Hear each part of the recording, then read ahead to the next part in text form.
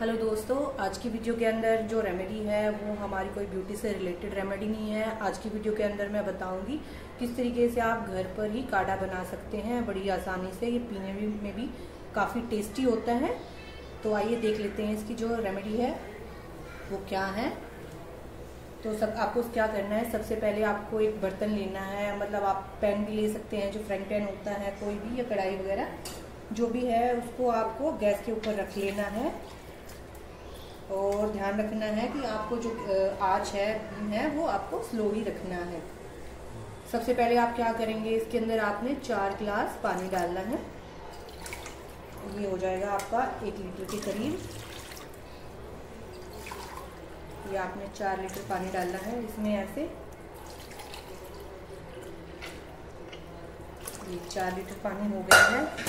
और इसके बाद जो हमारी पहली चीज़ है, वो है हमारा गुड़ गुड़ आपने इतना पीसीस ये दो पीस लेने हैं और इस तरीके से आपने इसमें डाल देने हैं।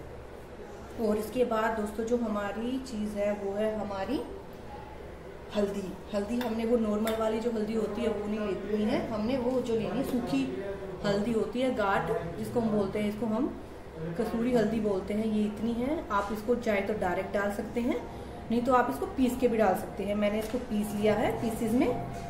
पूरी गाढ़ को और इस तरीके से जो छोटे छोटे टुकड़े हैं, उनको भी मैंने इसमें डाल दिया है। इसके बाद जो हमारी अगली चीज़ है काढ़े के लिए, वो है हमारे तुलसी के पत्ते। ये आपने डाल लेने हैं। चार पाँच। अगर आपके घर में तुलसी का प्लांट है तो अच्छी बात है। नहीं तो आप मार्केट से भी तुलसी पाउडर ले सकते हैं। और उसके बाद जो हमारी अगली चीज़ है, वो है हमारी अदरक। अदरक को भी आपने थोड़ा पीस लेना है। तो ये पेस्ट आपको एक चम्मच लेना है और इस तरीके से आपने इसमें डाल लेना है। और इसके बाद दोस्तों, जो हमारी आखिरी चीज़ है, वो है हमारी, ये हमारा लौंग और काली मिर्च का पाउडर है। आपको चार लौंग लेनी है और चार आपको काली मिर्च लेनी है। उनका जो पेस्ट बनेगा, वो इतना बनेगा इस तरीके से।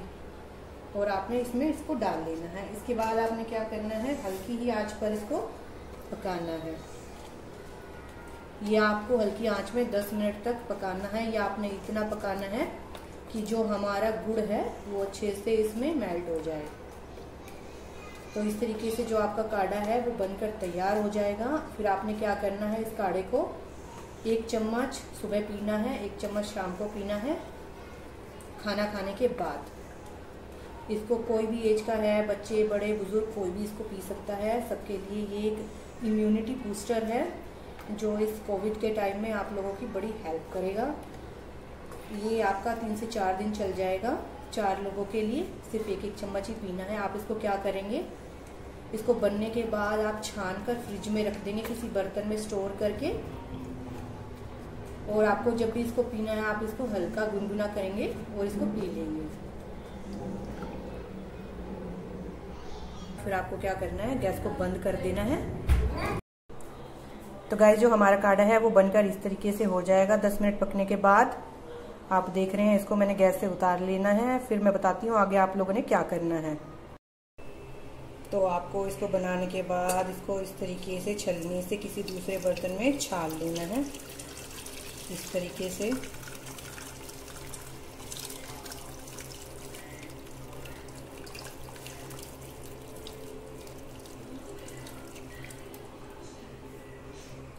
इस तरीके से छोड़ देना है।